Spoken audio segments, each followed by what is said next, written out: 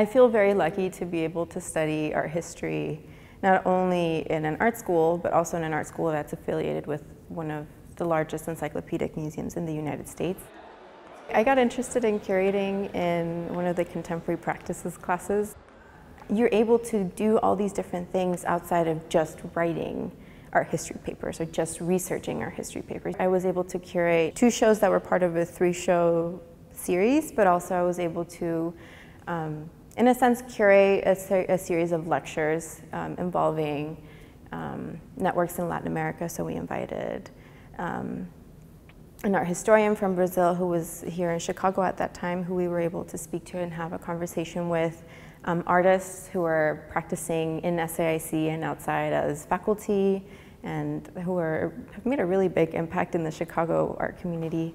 My fellowship at the Art Institute of Chicago, it's a, a two-year program that I applied after an intense week-long uh, summer academy.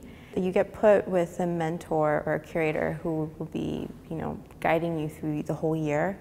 So I first started in, off in photography, um, and for the first year we had to do two uh, semester-long projects. So for the first semester-long project, I chose a photo from the photo department, and then for the second semester, in order to go align with um, classes that I was taking at SAIC, I decided to do um, more research into one of the paintings of this show.